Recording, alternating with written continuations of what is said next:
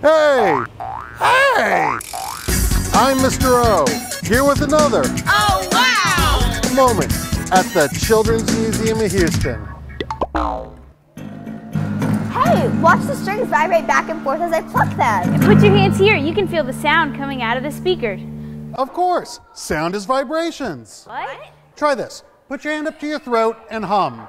Mm, what you're feeling is the vibration created by your vocal cords. Sound is vibrations. Let me show it to you a different way. Before we begin, remember, science is fun, but it can also be dangerous, so always have a responsible adult helping you. So to visualize the sound vibrations, we're going to use a free frequency generator that I download to my phone, a speaker that I hooked up to an audio jack, and a visualizer that we're about to build. To make our visualizer, cut off the end of an 11 to 12 inch balloon so you have just the main part of the balloon remaining.